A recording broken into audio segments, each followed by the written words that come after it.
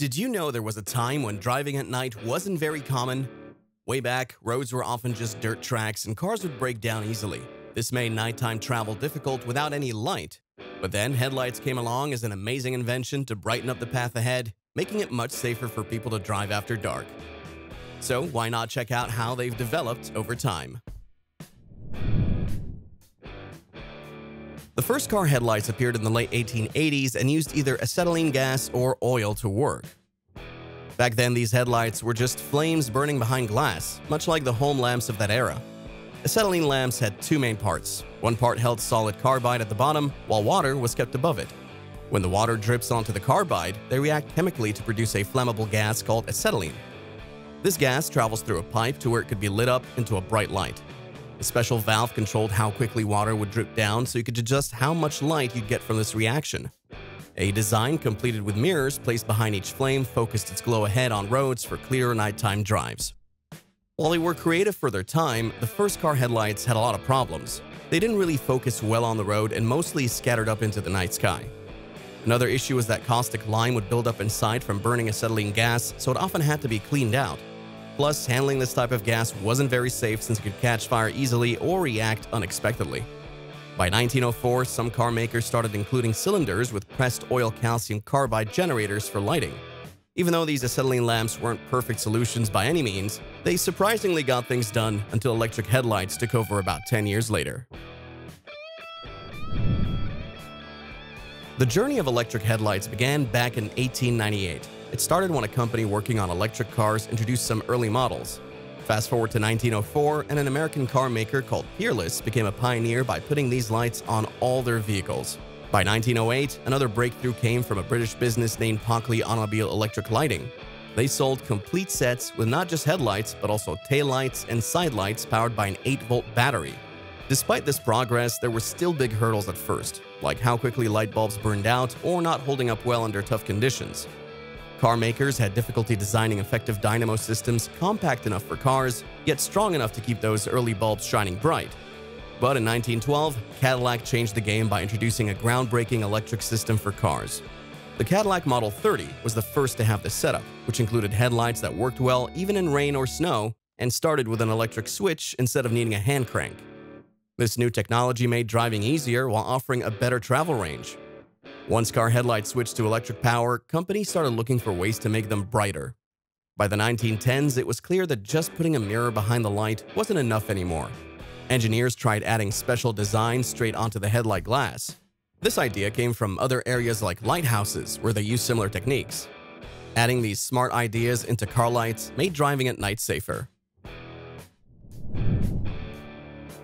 Sealed beam lights were introduced in 1939 and became a requirement for all cars in the US from 1940 to 1983. They featured a parabolic reflector, lens, and filament enclosed together to deliver brighter and more focused illumination. However, they weren't perfect. Early versions consumed lots of power while emitting limited light.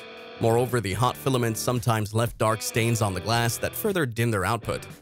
But sealed beam headlights had a big plus. They kept water out, so rain or washing didn't affect the light. This helped the light stay clear and bright. But if one bulb got damaged in the setup, you had to replace the whole headlight unit. To fix these problems, car makers came up with better ideas that led to halogen headlights which last longer and work even better. In 1962, a group of companies from France, Germany, and Italy came together to create the first car halogen lamps. These new lights were brighter and lasted longer because of a special reaction between halogen gas and tungsten, this improvement made it much easier for drivers to see at night, especially when using high beams. Halogen bulbs are the most traditional and popular choice for car headlights. They work by using a thin tungsten wire with halogen gas in a durable glass capsule. When you switch them on, electricity heats the tungsten to about 2500 degrees Celsius, making it glow brightly with light that often appears yellowish blue due to its mix of heat and gases. Halogen headlights were popular but had two main downsides. They didn't last as long as drivers hoped, and their light range wasn't great.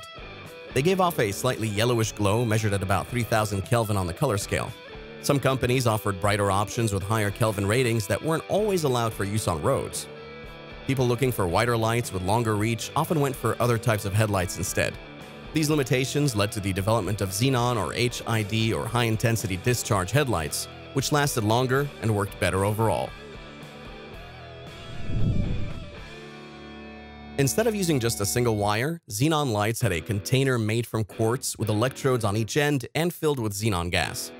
When turned on, electricity flowed through the container, creating a spark that charged up the gas and allowed the current to move between the two ends. They commonly use this type of light along with various salts called metal halide salts.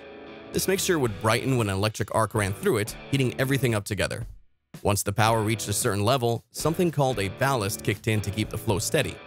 Xenon headlights lasted about five times longer than halogen ones because they needed less energy. These lights give off colors ranging from 4000 to 6000 Kelvin, resulting in a crisp white glow that makes cars look high-end. However, because they took a few seconds to reach their brightest point, HID lights weren't suitable for separate high beams, which needed instant activation. Most vehicles with HID lamps used halogen bulbs for the high beam function, while some more expensive models came with bi-xenon lamps instead. Bi-xenon lamps used HID lighting for everything, when the low beams were on, a mechanical shutter cut down some of the light. Once you switched to high beams, this shutter lifted to let all the light shine through. HID headlights were much more powerful and brighter than regular halogen ones, shining a light about 200 to 250 meters ahead. However, they were expensive and complicated. They needed some time to warm up before reaching full brightness, and their white color often turned bluish as they got older. These lights also weren't as durable compared to LEDs, because of these issues, xenon lights didn't last long on the market. People quickly started using LEDs instead because they performed better, lasted longer, and were more reliable. LED bulbs light up through a process called electroluminescence. In simple terms, electrons move towards positively charged gaps in the bulb's semiconductor and create light as they go by. This is how we get those bright photons or bits of light. LEDs need very little energy to keep going and last for a really long time compared to traditional bulbs. LEDs are simple to operate, they light up instantly and barely heat up at all. They ended up being the most energy-saving lighting choice, creating bright illumination much better than halogen or xenon lights. These headlights can shine as far as 300 meters and often appear in luxury cars because different designs became possible with LEDs. These lights were used for things like indicator signals, brake and tail lights, as well as inside lighting and more. Interestingly enough, LEDs weren't around until 2004 when Audi introduced them with their A8 model. Like many new technologies, the first versions of LEDs didn't always perform consistently. As they got better over time, these LEDs could be made to shine any color you want, even a bright white light that lit up nearly a mile ahead without dazzling drivers coming from the opposite direction. Adaptive headlights use LED bulbs, but they can turn with your steering wheel. This means better visibility at night or when it's hard to see, especially around curves and corners. With a smart feature, you'll have fewer blind spots and a safer drive overall. A car with adaptive headlights uses electronic sensors to keep track of a few things, how fast you're driving, the angle you've turned the steering wheel, and how much the car is rotating around its center. By checking these factors, adaptive headlights can adjust their aim based on where your vehicle is headed and help light up curves in advance. These sensors manage small motors inside each headlight so they can swivel, Typically, an adaptive headlight moves about 15 degrees from side to side, overall totaling a movement range of 30 degrees. One of the first cars to have adaptive headlights was the Tucker 48, or Tucker Torpedo. Created by Preston Tucker in the late 1940s, who once worked as a policeman, the car stood out for its forward-thinking design but never made it to mass production. A key feature was its third headlight in the middle, known as the Cyclops Eye. This light moved with the steering wheel and helped drivers see better when turning corners at night. Matrix headlights use several small LED lights that work together in one headlight for better control of the light beam's shape and direction. Often called smart or pixel lights, these headlights have cameras and sensors that notice cars coming towards you. When another vehicle is detected ahead, the system automatically changes your beams so they don't blind other drivers while keeping things bright enough for you to see clearly. No need to manually switch between high and low beams as it's all done automatically. Additionally, Matrix headlights can smartly dim or turn off certain parts of their light to make different patterns. This helps them adjust smoothly to city streets, highways, and bends without blinding other drivers on the road. While most cars still use LED and halogen lights, laser technology is becoming a hot new option. These advanced laser headlights offer great visibility and top-notch efficiency. They work by using one or more tiny lasers to shine blue light onto a mirror, which then directs it into an area containing yellow phosphorus gas. The meeting of this gas with the blue light creates super bright white light. Laser headlights produce incredibly bright white light, but right now they're mostly found in a few high-tech prototypes and cars like the BMW i8.